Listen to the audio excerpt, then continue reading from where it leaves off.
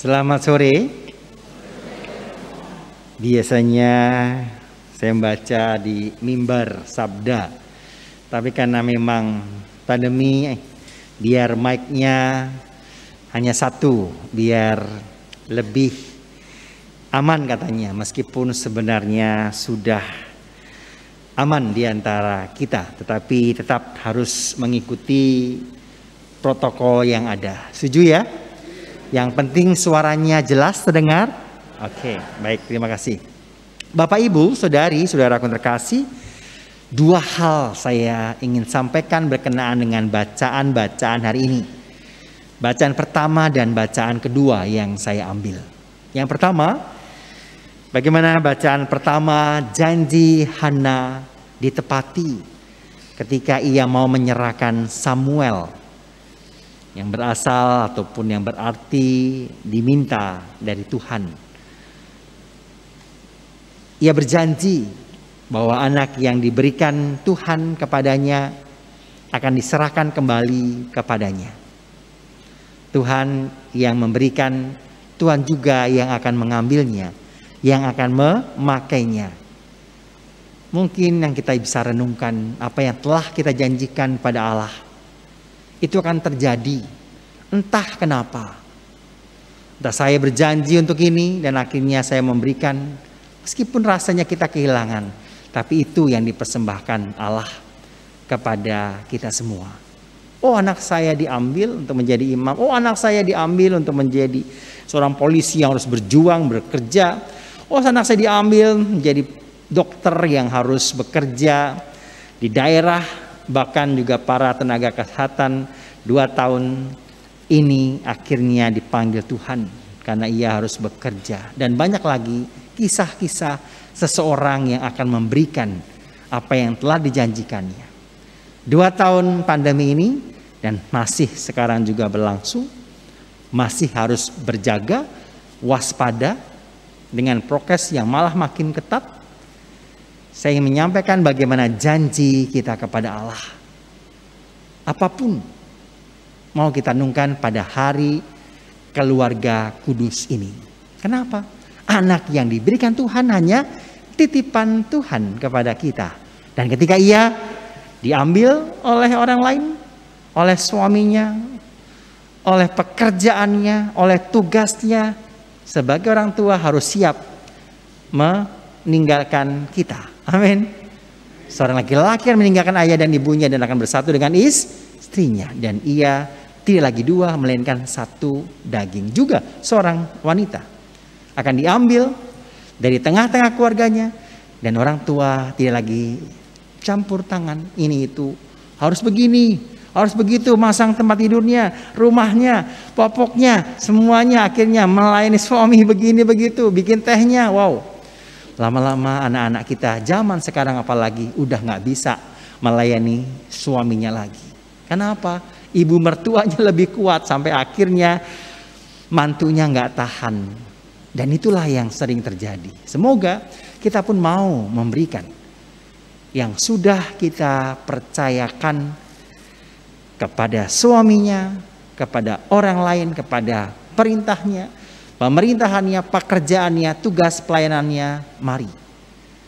Saya pun demikian. Saya bersyukur mempunyai orang tua dan akhirnya menyerahkan saya kepada kuskupan dan untuk pekerjaan pelayanan di mana pun saya ditugaskan. Bapak Ibu, Saudari, Saudara kasih, ini poin yang pertama. Bagaimana seorang Hana akhirnya menepati janjinya. Poin yang kedua, kisah keluarga kudus yang sangat luar biasa. Kisahnya ketika Maria, Yosef dan Tuhan Yesus setiap tahun ada perayaan Paskah dan harus datang ke Yerusalem. Yesus sudah umur 12 tahun. Yang menarik, karena begitu banyak rombongan berjalan kaki, disangkanya setelah perayaan itu selesai, Maria dan Yosef menyangka Yesus ikut iring-iringan sanak saudaranya berjalan pulang. Tapi ternyata Yesus tidak ada bersama dengan mereka. Poin yang kedua ini saya bagi ada tiga inspirasi. Seorang Maria dan Yosef punya tanggung jawab untuk mencari anaknya yang hilang. Dia peduli, dia sungguh-sungguh dan akhirnya dia mencari harus tiga hari baru menemukan dan dia kembali lagi ketika melihat, oh kok gak ada di rombongan? Lah panik memang. Tapi Maria tidak panik seperti ibu-ibu zaman sekarang. Waduh di mana anakku? Harus ini harus itu. Maria tetap tenang tapi dengan mencari, tidak berdiam diri, tidak mengandalkan orang lain, tidak hanya telepon, udah serahkan saja. Bapak Ibu, Yosef memang tidak diperintahkan, tapi saya yakin Yosef pun pasti akan mencari anaknya yang dipercayakan Tuhan kepada mereka. Ini inspirasi yang pertama. Yang kedua, yang menarik Yesus tenang-tenang saja. Ternyata ketika ditemukan setelah tiga hari, Maria dan Yosef kembali ke Yerusalem. Yesus ternyata sedang bertanya jawab dengan alim-alim ulama, dengan tokoh-tokoh agama di sana. Dan akhirnya pertanyaan begitu memukau. Inspirasi yang kedua, coba kita lihat. Juga dari poin keluarga kudus.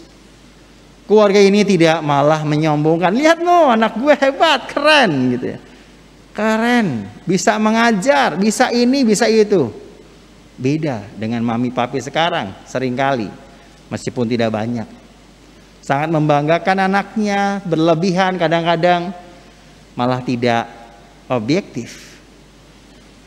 Bapak Ibu, Saudari, sudah terkasih, Yosef dan Maria malah melihat bagaimana anaknya yang luar biasa itu memperlihatkan kerendahan hati mereka sebagai orang tua yang tidak menyombongkan diri mereka dengan kehebatan anaknya yang bisa bertukar tanya jawab yang luar biasa tentang kitab suci. Malah sebaliknya yang ia terima, loh kenapa engkau mencari aku? Bukankah aku harus berada di rumah bapakku? Banyak orang tua yang kalau diperlakukan katakan seperti itu oleh anak-anaknya. Ah, mama tahu apa sih, mah diem aja deh mah. Apa-apa apa lagi? Biasanya kantor, ngantor, ngantor. Biasanya ini dan sebagainya. Tahu apa sih tentang anak-anak zaman sekarang? Kadang-kadang anak-anak kita sekarang zamannya seperti itu. Tapi Yesus tidak memperlihatkan seperti itu. Dan seorang Yosef dan Maria sungguh. Ia tetap menyimpan dalam hatinya seorang Maria. Kenapa? Tuhan itu yang dihadapinya. Bapak Ibu, Saudari, Saudara terkasih, inspirasi kedua, apa yang bisa kita renungkan? Betapa banyak anak-anak kita yang hebat. Seringkali kita malah mungkin kotak-kotakan, membeda-bedakan. Oh ini kakaknya hebat, pintar, sekolahnya bagus-bagus. Yang ini aduh kenapa sih begitu? Apalagi si dede ini udah bandel, nyusahin terus-menerus, ngabisin uang, bla bla bla, nggak bisa diatur. Semakin kita ngomong seperti itu Bapak Ibu, apa yang terjadi? Semakin anak kita itu karena ucapan itu menjadi sebuah doa. Di banyak anak-anak yang dibanggakan, dikasih sekolah dan sebagainya sudah besar, meninggalkan imannya, pergi, melupakan ayahnya, ibunya. Seringkali juga yang jadi batu sandungan, yang dijelek-jelekin, yang sering tidak diperhitungkan, malah sayang kepada mama dan papanya ketika sudah makin tua. Ternyata anak ini menyimpan. Saya tua nanti tidak akan memperlakukan mama saya, papa saya yang dulu memperlakukan saya. Banyak Bapak Ibu terjadi seperti itu. Maka mari kita jangan terlalu membanggakan. Ingat kisah si sulung dan si bungsu dalam kitab suci. Memang sulung itu luar biasa hebat. Pintar gak nyesain pada waktu bersama-sama dengan ayahnya. Tapi ketika si sulung itu menyalahkan adiknya, sombong, apa-apaan itu? Anak an ibu bapak yang telah menghabiskan uang malah dikasih pesta pora seperti ini baju cincin yang bagus. Aku selama ini anakku setelah sekian lama semua yang jadi milikku dan milikmu pakailah semua. Tapi adikmu yang hilang, bahkan mati kini kembali. Mari kita bersyukur. Si kakak nggak mau peduli seperti itu. Pengampunan, maafkan, nggak ada. Itu tidak berkenan di hadapan Allah. Maka inspirasinya adalah bagaimana orang tua mau tetap bersyukur, tidak membeda-bedakan A, B, C, 1, 2, 3 anak-anak yang ada. Yang sudah, ya sudah. Sekarang ajarkan anak-anak kita agar bisa mendidik cucu-cucu dengan objektif, dengan bijaksana, ucapan harus dijaga. Semua anak-anak dari Tuhan baik. Amin. Tadi saya misa di Samadi jam 1 siang, anak-anak berkebutuhan khusus, ada yang teriak-teriak masih ada yang lari ke sana, lari ke sini, ada yang jatuh pukul-pukul meja masih padahal sudah hampir 7 8 tahun. Saya dulu membuat misa anak-anak berkebutuhan khusus di Jalan Malang waktu saya tugas di sana.